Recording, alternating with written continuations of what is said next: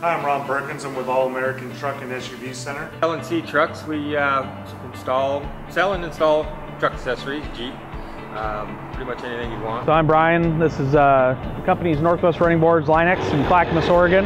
Been in business for 23 years in the Portland and Oregon area. Uh, company's been here since 1970, My son and I started it about four and a half years ago, so we're going on our fifth year. but we'll have customers come in and they want a cover, a bed liner, bars, board steps.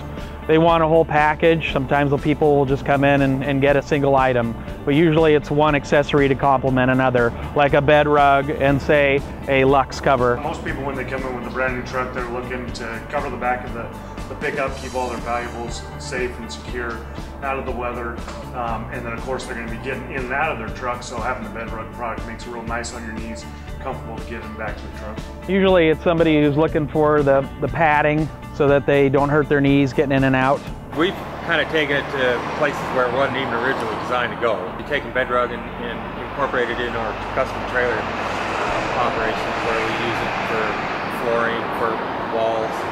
They have the trailer trailer wear packages. Um, so we, we've kind of adapted, taken it from its original bed use to uh, it's, it's just a great product. It, it's got you know the ability to clean real easy. It, you can sustain grease and oils. Polypropylene, lifetime warranty, mold resistant, easy on the knees. A lot of the guys that camp, it's a little bit insulation for the bed. It's a good combination for somebody that has a canopy. Here in the Northwest, there's a lot of, a lot of sportsmen, a lot of fishermen, uh, generally people that work out of their truck too. Jeep is really hard to find materials that will hold up to what Oregon has to deliver when, when they start off-road. So BedRug is, is a real good option. different folks that come in that use their truck for uh, their business. If they're uh, demoing product out of the back and having a lid with a bed rug on it, makes for a nice presentation in the back as well.